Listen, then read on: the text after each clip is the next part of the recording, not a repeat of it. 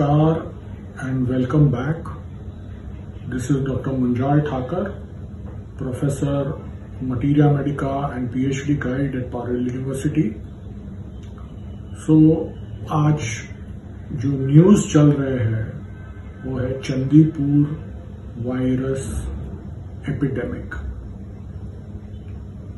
ये चंदीपुर वायरस जो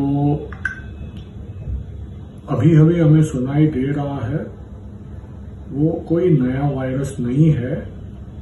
पहले भी छोटे आउटब्रेक्स हुए हैं और इसका first time it was discovered in 1965 in Nagpur तो ये जो डिज़ीज़ है, इसे हम वेक्टर बॉर्न डिज़ीज़ कहते हैं। वेक्टर बॉर्न मतलब कहीं कोई इंसेक्ट है जो ये वायरस को ट्रांसमिट करता है।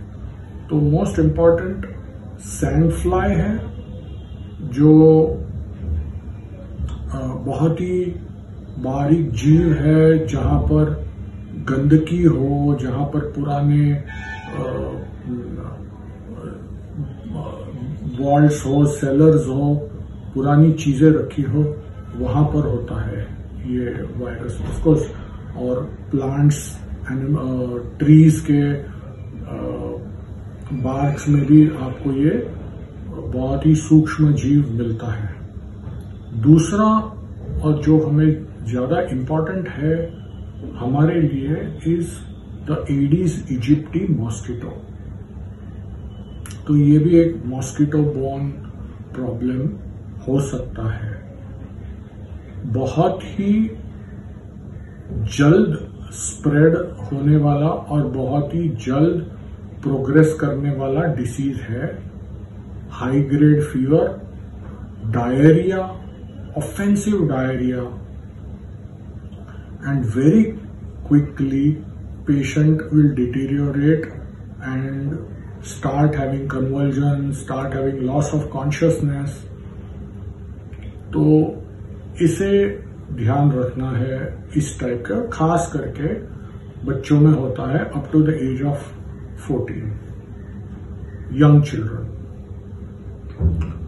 तो इंपॉर्टेंट ये है कि क्लीनलीनेस बनाए रखे मॉस्किटोज को ब्रीड ना होने दे, आपके आजू बाजू के जो भी जगह है, ध्यान रखिए कि पानी भरा हुआ ना हो बर्तन जो अगर गार्डन में है आपके, जिसमें पानी भरता है तो उसे निकाल दीजिए। So it remain dry mosquito breeding को मिनिमल करना है।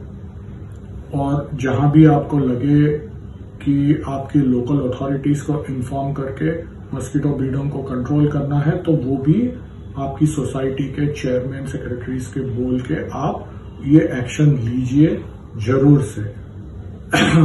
सिर्फ़ चंदीपुर वायरस ही नहीं, बल्कि डेंगू वायरस भी ऐसे ही फैलता है, मलेरिया भी ऐसे ही फैलता है मस्कीटो के थ्रू।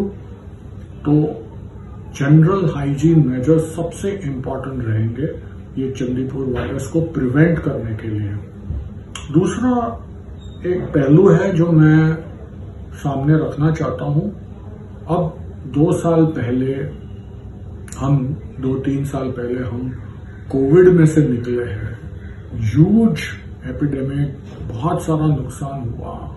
बहुत जाने गई, बहुत फाइनेंशियल लॉसेस हुए। अब ये वायरस है।